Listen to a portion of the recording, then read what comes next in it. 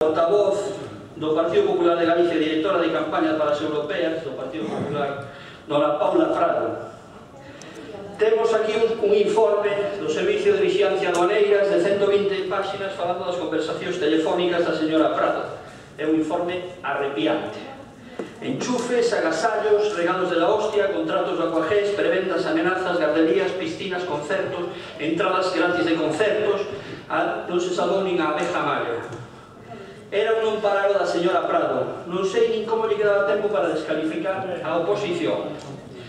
Se o señor Feijóo quere comenzar a lutar contra a corrupción, que comece, en vez de mirar para os traballadores da xunta, de mirar para o seu lado.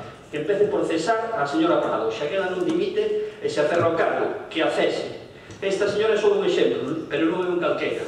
É a portavoz do Partido Popular e a responsable da próxima campaña electoral. E poden comenzar tamén por cumplir a palabra do señor presidente que falou de cesar aqueles cargos que estivesen con causas abertas e con medidas cautelares. Moitas gracias.